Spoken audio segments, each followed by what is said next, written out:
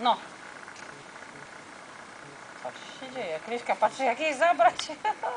Zabierze ci, bo ty jesteś taka, że się poddajesz. No i zabrała ci patyczek. I zabrała patyczek.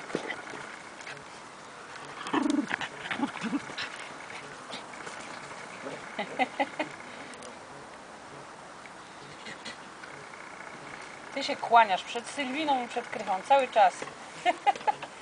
Tylko się zbliżają tutaj już. Dopadły cię, pijawki małe.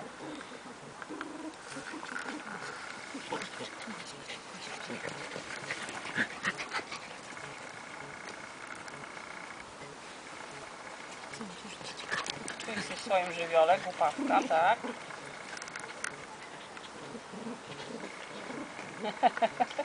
Może teraz się coś wyjdzie. Jakieś szalone.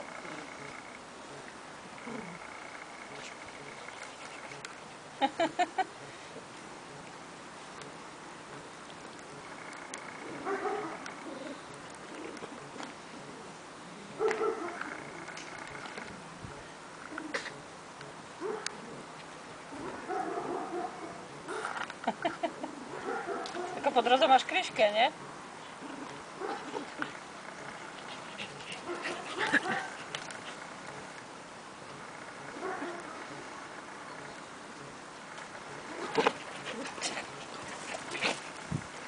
Kozo.